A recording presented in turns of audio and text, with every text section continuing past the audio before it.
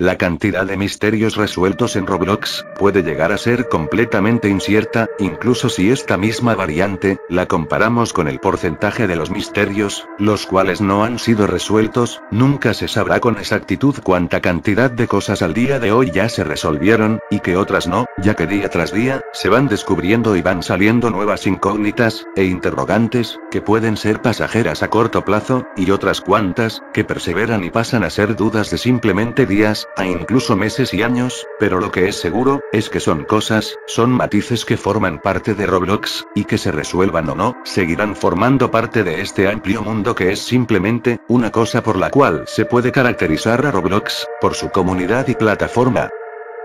Y en este vídeo, nos vamos a centrar en esas interrogantes, en esos casos puntuales que al día de hoy, no se han obtenido una respuesta en concreto, y no ha quedado del todo claro, qué ha ocurrido con estos temas, qué ha pasado y ha sido de ellos, al transcurso del tiempo, en los que se han vuelto, misterios de Roblox, que aún siguen sin resolverse. Sin nada más que decir. Comencemos.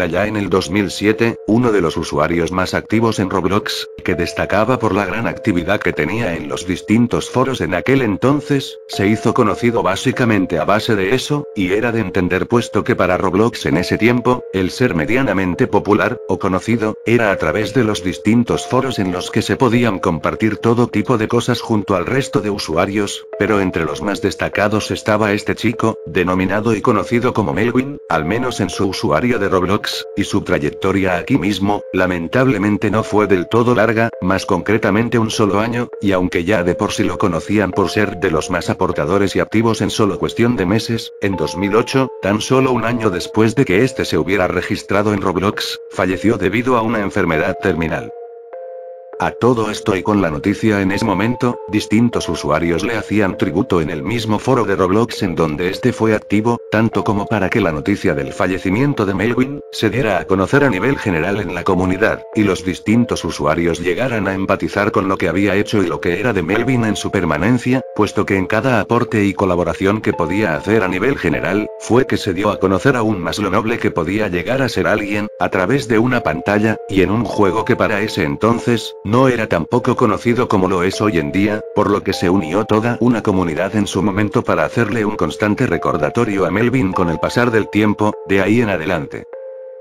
Fue de tanto impacto de la noticia y lo bien sabido que había ocurrido con Melvin, que Roblox decidió hacer un accesorio en honor al usuario y sobre todo a la persona que estaba detrás de este mismo, el accesorio más específicamente era un peinado, y tanto el modelo y estilo lo hicieron en honor al tipo de peinados que solía llevar Melvin en su avatar constantemente. Hasta ahí todo parecía tomar buen rumbo, sin embargo las opiniones al respecto de esto, se dividieron en dos, puesto que había usuarios que consideraron esto de crear un accesorio, algo no solo innecesario sino irrespetuoso hacia Melvin, tanto la apariencia y el tipo de tributo que se estaba haciendo según Roblox, a muchos usuarios les molestó ya que no representaba como tal nada de lo que fue Melvin, y la otra parte simplemente le parecía correcto el tener algún tipo de recordatorio, más allá de lo que haya sido con la relación del avatar era por y para Melvin, la persona que durante ese corto plazo aportó mucho a la comunidad en su momento.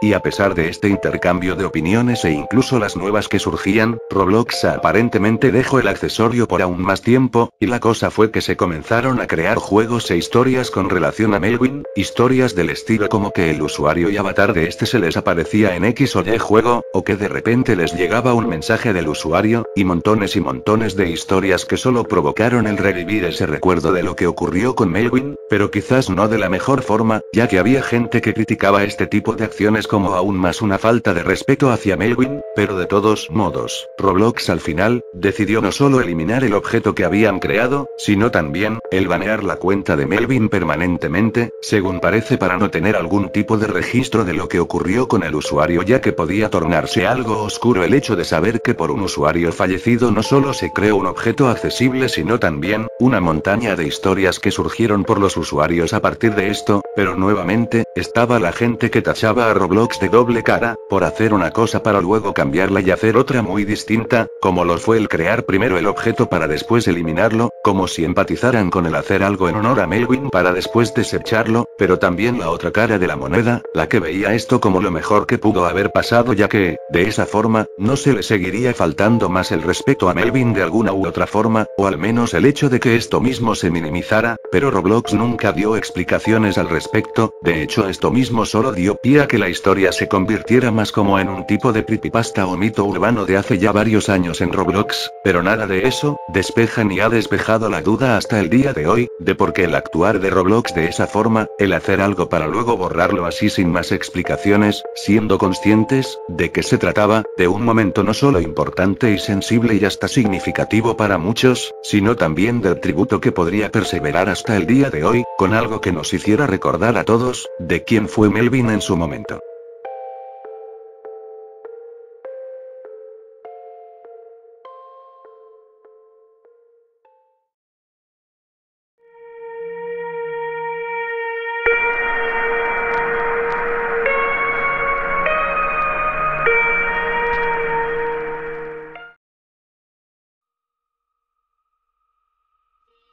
De los administradores de Roblox por lo usual se suele hablar muy poco, debido a la actividad tan general, y hasta incluso considerada cotidiana, que pueden tener como para llegar a ser algún tipo de foco de atención, aunque eso sí, exceptuando uno que otro caso en particular donde sí se han dado a conocer ciertos usuarios y momentos que los involucran, sin embargo, con la lista de más de 950 administradores que hasta el día de hoy se conocen abierta y públicamente en Roblox, nos vamos a centrar en uno en particular, y sin duda alguna de los más antiguos, el administrador, Freddy, que desde el 2007 lleva operando, trabajando y prestando servicio en Roblox con este puesto ya mencionado, uno de los más antiguos y veteranos a nivel general, pero, ¿qué hace a Freddy diferente, o que lo destaca o mejor dicho, que lo destaco del resto de administradores a lo largo de los años en Roblox, o al menos del 98% que han pasado por este puesto en Roblox? Ok, resulta y pasa, que Freddy desde que se volvió uno de los trabajadores más activos y conocidos en general, tanto así como para que a las convenciones de Roblox fuera invitado y participe de ellas, su nombre en aquel entonces era muy conocido, es decir, a comparación de los demás administradores o de su grandísima mayoría, Freddy era de los pocos que parte de la comunidad lo reconocía de una forma única, sin embargo todo esto, cambió de un momento para otro, en el que el usuario, comenzó de cierta forma a actuar de una manera, muy fuera de lugar, con publicaciones en el foro que muchas veces no eran del todo coherentes, un comportamiento reflejado algo extraño, que de hecho en parte lo hizo resaltar más por su forma de ser, y aunque en un principio se creía que era algún tipo de troleo o de simplemente, la forma de actuar del usuario, poco a poco se iba tornando más extraño, se dice que para ese momento Fedi había revelado varias cosas en cuanto a la funcionalidad de Roblox, como el almacenamiento de los datos de información de las cuentas activas y baneadas, de la vulnerabilidad que se podía tener a los correos vinculados a una cuenta de Roblox en aquel entonces, y entre otras cosas hasta que llegó el momento dado del tan famoso ataque del 1 de abril del 2012, en donde la cuenta de Fedi estuvo involucrada en muchos cambios a la hora del ataque, aún más formas extrañas de actuar en el foro, otorgándole información también a los usuarios acerca del panel de administración en Roblox, y aunque si bien no publicó nada gráfico en sí, con toda la información que daba llegaba en ocasiones a ser tan específico que pareciera se tratase de un tutorial para tener acceso a información, acciones y configuraciones que los usuarios en general no deberían tener, la popularidad de este en este mismo evento hizo que se resaltara mucho más, a tal punto que ya parte de los jugadores se preguntaban si la cuenta le fue robada, o si realmente se trataba del mismo Fedi, y sobre todo, del por qué Roblox no hacía nada al respecto, al menos con su cuenta, puesto que este siempre fue un administrador de los más conocidos para ese momento, pero con toda esta controversia lo que hizo fue darle mala fama, y algo justificada pero a la vez no, porque no se tenía una respuesta en concreta del por qué Fedi hacía lo que hacía, del por qué ese cambio de un momento para otro, de si realmente se trataba de la misma persona. Todo este tiempo detrás de esa cuenta, y reitero nuevamente, de por qué Roblox nunca se pronunció nada frente a esto, estamos hablando de una época del 2007 al 2013 aproximadamente, un tiempo en el que los administradores de Roblox se podían contar y recordar con una facilidad mucho más sencilla y hasta impresionante, y el porqué del cambio, de uno de estos de esta forma como los fue en el caso de Fedi, llamó mucho la atención en aquel entonces, es decir, si hoy en día algún administrador tuviese ese tipo de comportamientos, realmente ya nadie se daría cuenta o algo similar, puesto que ya son tantos que se está acostumbrado hoy en día a que no se resalten de esa forma o se den a conocer como los fue en ese entonces, sin mencionar que el actuar de Roblox sería ya en cuestión y cosa de segundos, pero la duda, la interrogante y la incógnita, del porqué del cambio de Fedi, y del por qué Roblox hasta después de unos 5 años, decidió borrar la cuenta por completo, sin avisar realmente qué pasó con esta, teniendo en cuenta que era uno de los principales usuarios relacionados a Roblox como un administrador, conocido como uno de sus trabajadores más destacados, por los usuarios de aquellas épocas, y que hoy en día de seguro una pequeña minoría recordara, es un misterio, que incluso 10 años después, hoy 2022, no se ha obtenido alguna respuesta.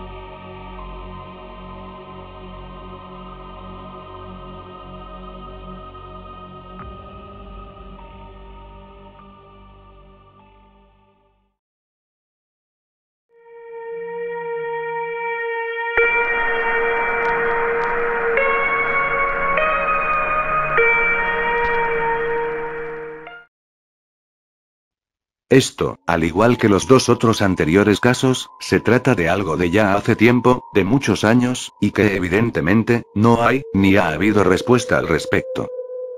Se trata de una problemática que tenían muchos usuarios, creadores de juegos y usuarios que recién estaban empezando en esto de la construcción de mundos en Roblox, a gran escala, y a gran escala me refiero a la afectación que llegó a causarles a este grupo de jugadores de Roblox, básicamente, cerca del 2013 se comenzaron a dar varias quejas de usuarios que recién estaban empezando a crear sus mundos, sus juegos, independientemente de la temática, comenzaron las quejas al respecto de que los juegos que se encontraban haciendo que estaban en desarrollo, ya otra persona había publicado uno exactamente igual, con la misma temática, mecánica y estilo de juego, así estuviera incompleto porque como digo, se encontraban en desarrollo, el problema real era que ya estaban públicos, que ya otra persona, literalmente había copiado y pegado lo mismo, en otro sitio, con las mismas cosas y características que ya un usuario tenía en su base de datos, y aunque en un principio esto pareciese como algún tipo de problema hecho exclusivamente para que esta parte de la comunidad tuviera algo de atención, tomándose así el problema como un invento por parte de ellos solo para tener algún tipo de respuesta por parte de Roblox, al cabo del tiempo ya no solo eran jugadores que recién estaban empezando a construir sus juegos los que se quejaban de esto, sino usuarios, que hasta con juegos populares, de los más conocidos y concurridos en su momento, estaban en la misma situación, quejándose de que los juegos, estaban completamente plagiados por otros usuarios, los cuales habían subido el mismo juego, con la portada, título, y todo el tipo de contenido que tenía el juego en general, pero ojo a este detalle, lo peor no es que solo se copiaran de esto, es decir que ocurriera esto de publicar juegos que ya existían así como si nada, sino que el mismo Roblox, o la misma plataforma, posicionara estos juegos plagiados, en la lista de recomendados en la página principal, que los pusiera a manera de que cualquiera que entre, fuera lo primero que viera.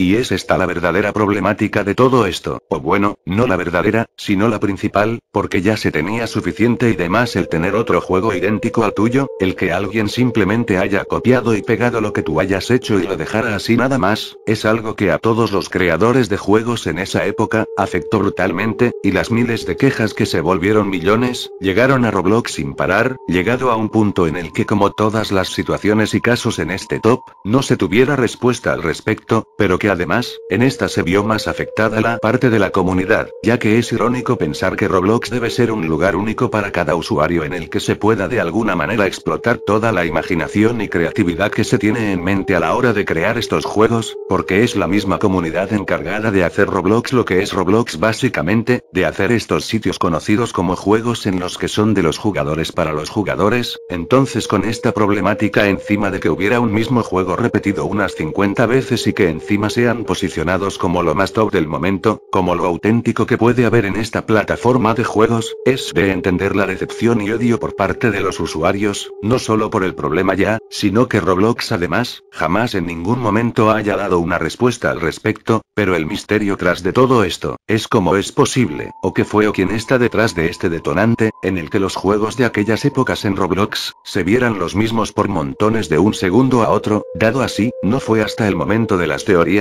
que si hackers o que exploiters fueron los culpables, pero con la situación en todo este contexto, no se dio como para pensar en esto realmente, no al menos de una manera muy seria en el caso de tal manera que persistiera mucho esta creencia o pensamiento entre los jugadores, que hasta la misma comunidad fue quien culpó a Roblox de todo esto, es decir, ellos mismos eran conscientes de esto que ocurría en su momento, y simplemente se dejaba pasar como si nada, y es el mismo Roblox encargado de posicionar los juegos en la página principal, que no era tan descabellado culparlos a ellos, que sean los mismos desarrolladores y creadores que forman parte de algún cuerpo administrativo, o grupo operacional en estos aspectos en Roblox, los que hayan sido los encargados, o bien considerados culpables de que haya ocurrido esto.